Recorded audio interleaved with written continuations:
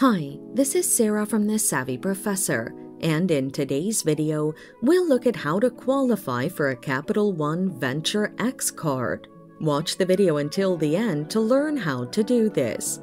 Your credit score is the main eligibility requirement for a Capital One Venture card. Generally, Capital One calls for an excellent credit score for its top tier Capital One Venture X card. This should be above 750 as per the majority of credit bureaus. However, a good credit score alone, a good credit score alone doesn't guarantee you'll qualify for a Capital One Venture card.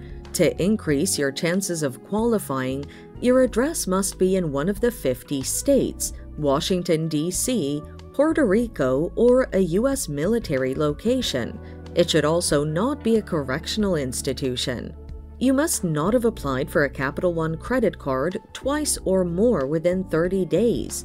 You must not have non discharged bankruptcy or implemented a credit security freeze or lock with one or more credit bureaus. And there you have it. Qualifying for a Capital One Venture card is that simple. Thanks for watching. Till next time.